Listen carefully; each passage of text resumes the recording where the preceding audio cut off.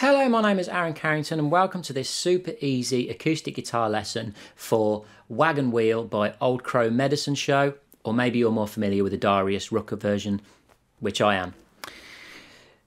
This song can actually be played with only one finger using a different a combination of triads on different strings, okay? You can use one finger for the entire track. First point of note about this song is that you will need a capo, which is going to go on the second fret here. And then whenever we talk about the frets, we're always talking in relation to the capo. So this would be fret 1, this would be fret 2, 3, 4, 5, 6, 7, etc., etc. Okay?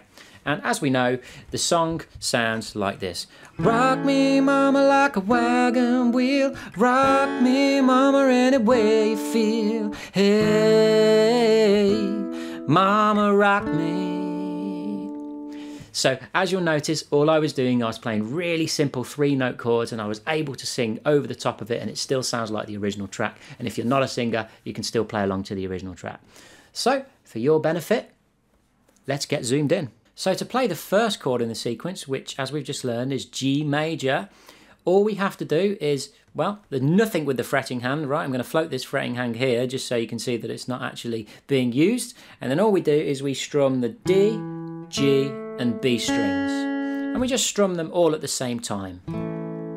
And that is our first chord. That is our G major chord. The next chord, we're going to take the first finger of the fretting hand and we're going to place it on fret 7. Remember, this is fret 7 in relation to the capo. 1, 2, 3, 4, 5, 6, 7. And this is going to give us D major and we strum the exact same three strings once again. So we've gone from G major with no fingers to D major with one finger, okay? Then we're going to go to E minor, which is, again, no fingers are being used, all right? And we're going to strum the G, B, and high E strings of our guitar.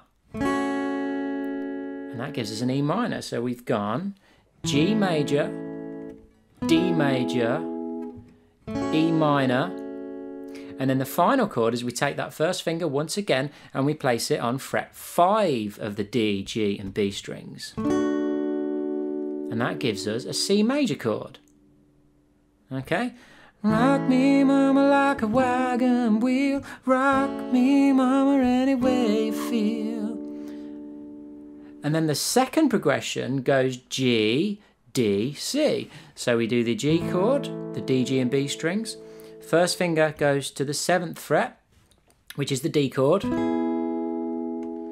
And then first finger goes to the fifth fret, which is the C chord. And that's Hey, Mama, rock me.